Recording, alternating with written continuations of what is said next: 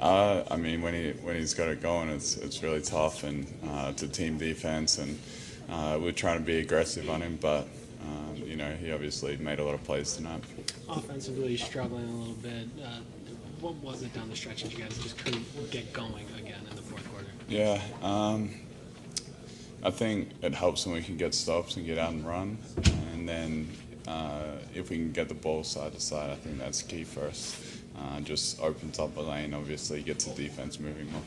I know in the, in the first four games you guys have been doing a nice job with corner threes and gave up a number of those. What were the Celtics able to do to get some of those? Uh, I mean, we we have a good game plan. I think we just got to follow it, and uh, we'll definitely be watching the tape tomorrow to to pinpoint exactly what it was. But um, I think if we follow our defensive principles, you know, we're obviously trying to take them away like everybody else in the league. Not the outcome that you wanted, but still nonetheless to play with that kind of energy tonight. What was, what was that crowd like? Uh, the crowd was great. Um,